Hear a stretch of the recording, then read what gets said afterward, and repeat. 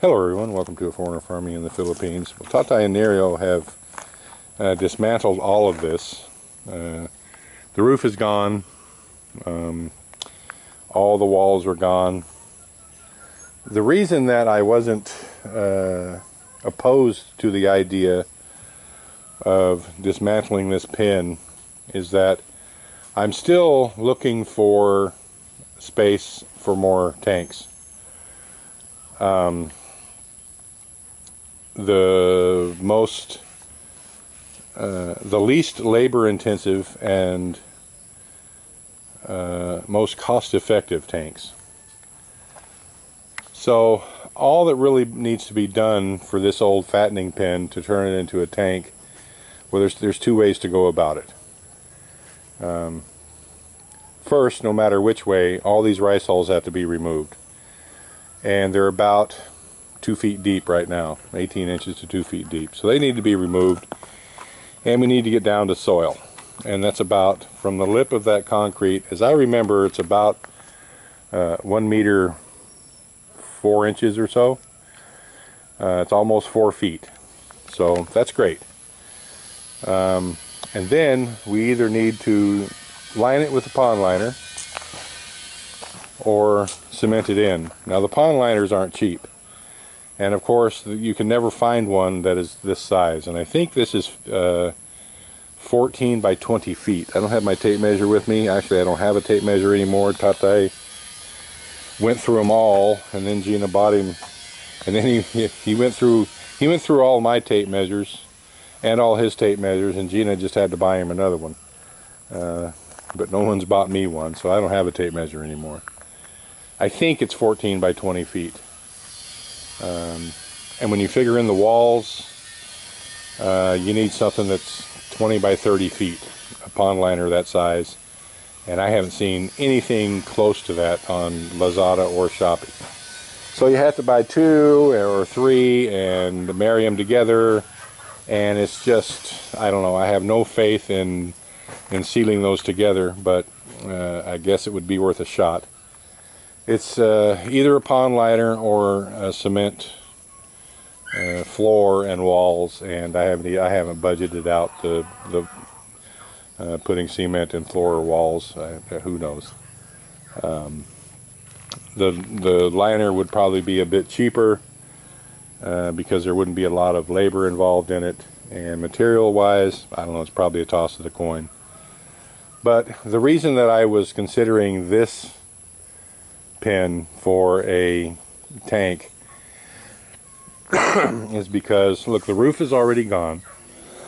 I think I am coming down with something. The roof is already gone, and, and I don't want it. If I was ever going to do a biofloc system in any of these tanks, uh, it can't have a roof on it like that because it needs sunlight. Uh, as a as a it it, as for uh, I don't know my brain my brain isn't working all the technical terms. It needs sunlight. It can't be in shade. And uh, and if it is, then you have to provide artificial light, and then that's just you know silliness. all this would need would be a, a screen net over the top of it to keep the leaves out of it. and that would be fine as a covering. So using this is uh, much easier than using any portion of the main piggery because um, all those walls, those partition walls, those stall walls have to be removed. All, all those walls that separate the pens, they would all have to come out, all of them. And even the side walls because they're not they're not um, strong enough to withhold any kind of water pressure. So all this cement that you see, or concrete that you see, all of it has to come out. And on a piggery that's 140 feet long, that's a lot. And I don't know where we would put it, other than just putting it back down in the in the bottom. And we could do that, I suppose. Uh, bust it up a little bit, just or what or not, and just put it back down in the bottom.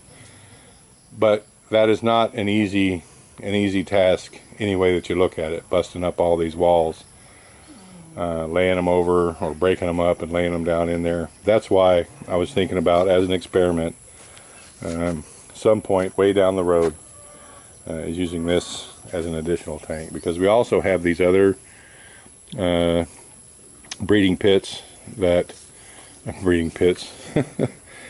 Uh, these other fattening pens that could be turned into uh, tanks. All these here.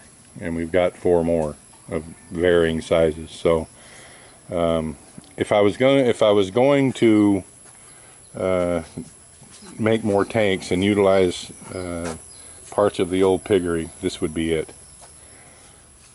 Now, like I said, this is down the road because we had to finish these two shrimp tanks up here first. Uh, we need additional uh, breeding tanks um, up top.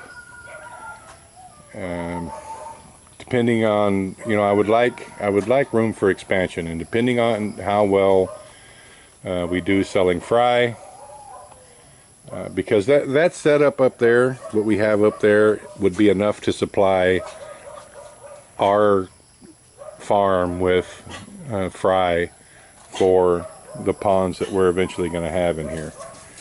Anything that would be on a commercial basis for sale, uh, we would need this area here. Hey, shut up! We would need this area here uh, as breeding tanks, all these here. Um, so, uh, you know, there is... Tiger! So there is a, a progression on how I want to do things here. Uh, we need to finish those uh, those breeding tanks up top, uh, the shrimp tanks, and perhaps at some point turn these into uh, more breeding tanks.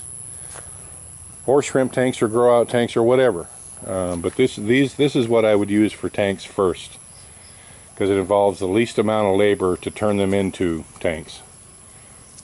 So that's kind of the the long-term uh, plan goal however you want to look at it here uh, that I've I've got I've tentatively tentatively got mapped out so we'll get there. It's not going to be an overnight process.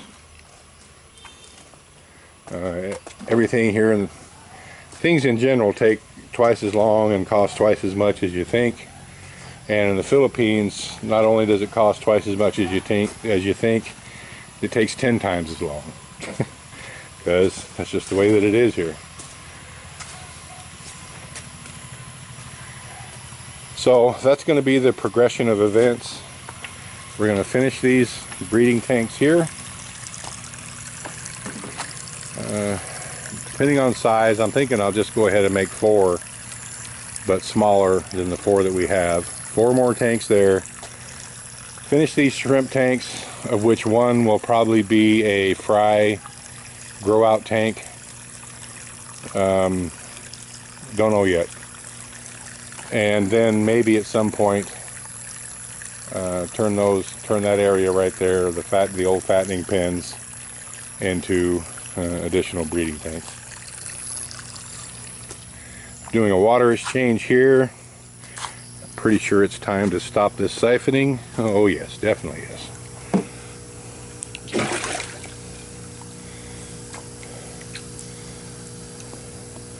So I'm going to run some more water back into this. Things are doing well.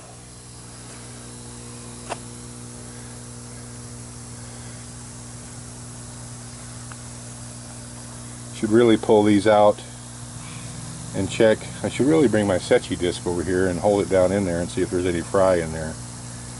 But I don't see any right at the moment. So